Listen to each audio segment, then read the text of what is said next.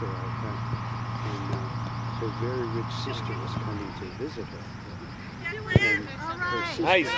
nice shot. Push it up, push it up. Her, her sister believes that she's married. Yeah. And she's married but to a real jerky guy. So she has one of the babies as her husband. And she comes over and he's like, hi, how are you? Whatever, what's going on? There. Um, and then she says, I never realized your husband was so handsome. Bob." He says, really? He goes in like the shit. They have a retired or demented lady from Dominican Republic. Go early, X got Okay, good. They had her pose as a maid.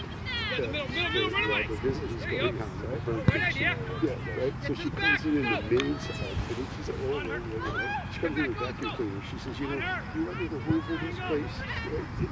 And, uh, this gay guy, says, no, no, you can, you know, she says, well,